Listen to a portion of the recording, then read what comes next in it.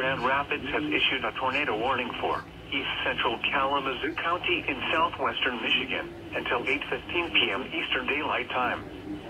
At 7.20 p.m. Eastern Daylight Time, a confirmed large and extremely dangerous tornado was located near Portage, moving east at 30 miles per hour. This is a particularly dangerous situation. Take cover now. Hazard, damaging tornado. Source, weather spotters confirm tornado. Impact, you are in a life-threatening situation. Flying debris may be deadly to those caught without shelter. Mobile homes will be destroyed. Considerable damage to homes, businesses, and vehicles is likely and complete destruction is possible. The tornado will be near Galesburg and climax around 7.30 p.m. Eastern Daylight Time. Battle Creek around 7.35 p.m. Eastern Daylight Time.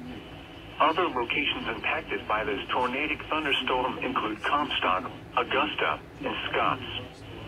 To repeat, a large, extremely dangerous, and potentially deadly tornado is on the ground. To protect your life, take cover now. Move to a basement or an interior room on the lowest floor of a sturdy building. Avoid windows.